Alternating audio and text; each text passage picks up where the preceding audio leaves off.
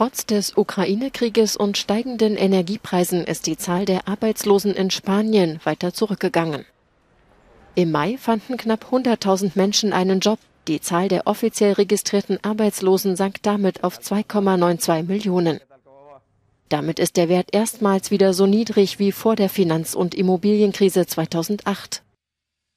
Besonders der Dienstleistungssektor und das Baugewerbe sind im Aufwind. Zudem kommt der Tourismussektor nach zwei Jahren pandemiebedingter Pause wieder in Gang. Noch vor einem Jahr suchten mehr als vier Millionen Menschen in Spanien eine Arbeit. Auf dem Höhepunkt der Krise im Frühjahr 2013 lag die Zahl der Jobsuchenden sogar bei fünf Millionen.